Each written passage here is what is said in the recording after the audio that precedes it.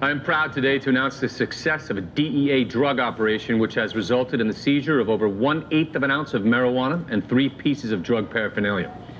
DEA agents seized the drugs from the bedroom of one Matt Lovejoy, a 16-year-old resident of Arlington, Virginia, at 11:44 a.m. this morning in a joint operation with state and local law enforcement and Matt's mom.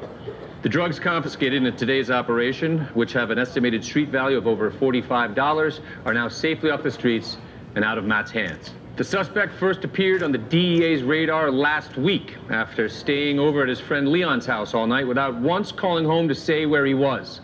Based on that evidence, this morning a team of 12 DEA agents broke down the door to Matt's bedroom with a battering ram and stormed the premises. A search of the scene by three canine units resulted in the successful discovery of the drugs, which were concealed in a wooden container that the suspect's mother bought for him at Carlsbad Caverns last summer. In addition, agents found a number of other contraband items, including nunchucks, his mother's Victoria's Secret catalog, and a ticket stub to a concert that Matt had been expressly forbidden to attend.